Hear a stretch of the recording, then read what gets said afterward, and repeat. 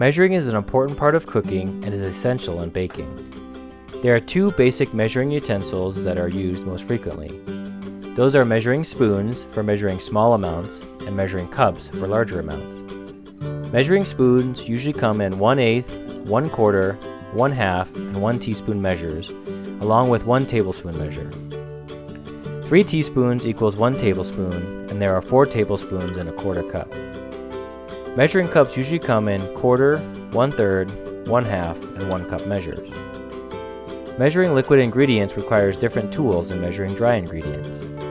A dry measuring cup, just like a measuring spoon, is a container that is a predetermined size and filled to maximum capacity. These dry measures can be leveled off with the back of a knife or a dough scraper.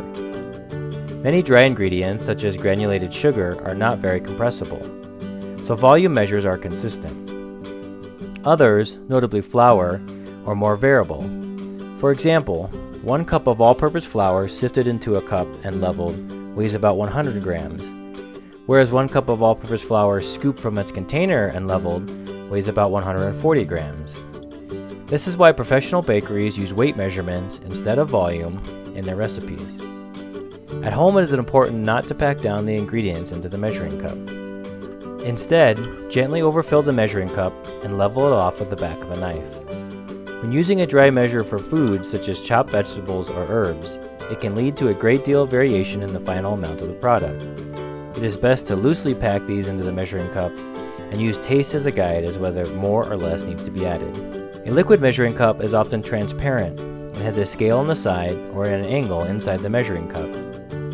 Using a scale on the side, it is important to be at eye level with the scale so that an accurate measurement is achieved. When measuring sticky ingredients, it is important to use a spatula to scrape all the ingredients into the mixing bowl.